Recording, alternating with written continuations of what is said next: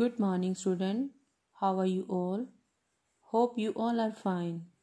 Students, today we will start the next part, part B of the Spark book, page number 23.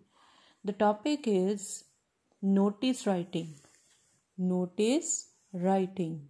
So, first of all, I will introduce you about notice. What is notice? Notice is written or is printed. It tells about what has happened or mostly about what has to happen. Notice क्या होता है notice एक return या फिर printed किया हुआ एक notice होता है जिसमें बताया जाता है कि क्या हुआ है या क्या होगा मोस्टली क्या होगा नोटिस आर आइदर डिस्प्लेड और पब्लिश इन न्यूज़पेपर और मैगजीन ज़्यादातर जो नोटिस होते हैं, जहाँ तो वो न्यूज़पेपर मैगजीन में डिस्प्ले या पब्लिश किए जाते हैं।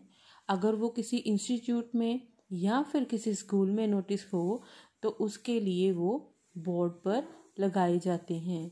Since a notice contain a formal announcement और information its tone and style is formal and factual क्या होता है कि जो नोटिस होता है, वो फॉर्मल अनाउंसमेंट होती है, और या फिर किसी के बारे में इंफॉर्मेशन दी जाती है।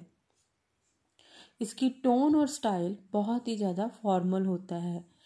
और जो नोटिस होता है, उसकी language should be formal and simple इसकी लैंग्वेज फॉर्मल और सिंपल होनी चाहिए and it should be in brief इसको ब्रीफ में ही लिखना होता है। कम से कम वर्ड लेकर ही इसको लिखना होता है। So there are some important tips about notice writing number one is adhere to the specific word limit fifty word so notice की को वर्ड लिमिट कितनी होती है?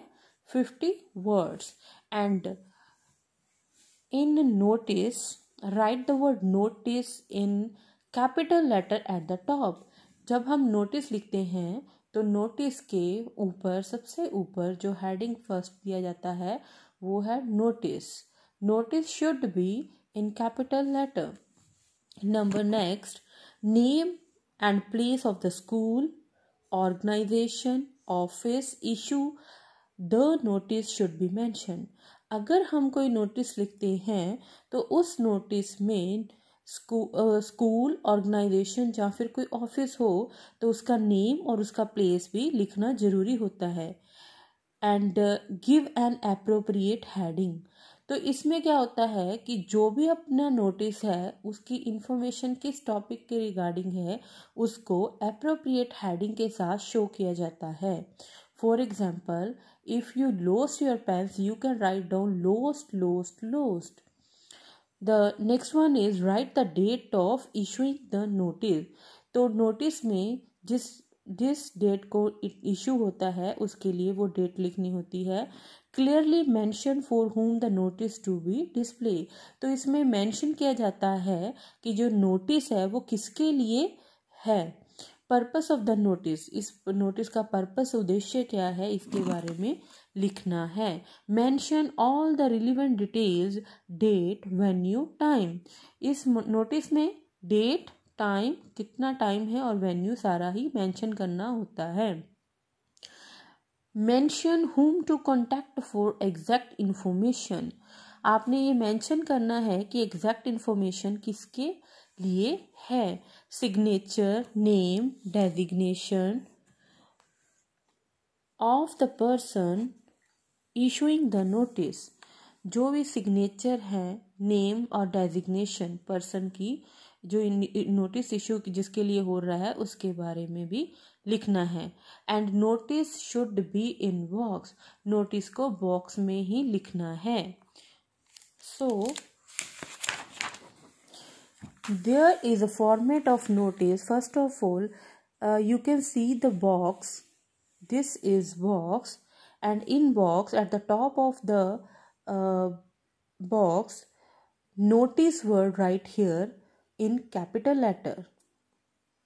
So after that date is written here and at the at the top of the uh, of the box write the name of organization institution or office issuing the notice for example guru ram das international public school. So after that mention here date and heading or subject. In this area you can write the content of notice आपने जिस topic के बारे में content बारे में लिखना है, वो फिफ्टी वर्ड्स में इसमें लिखना है। After that you can write the signature name in block letters डेजिग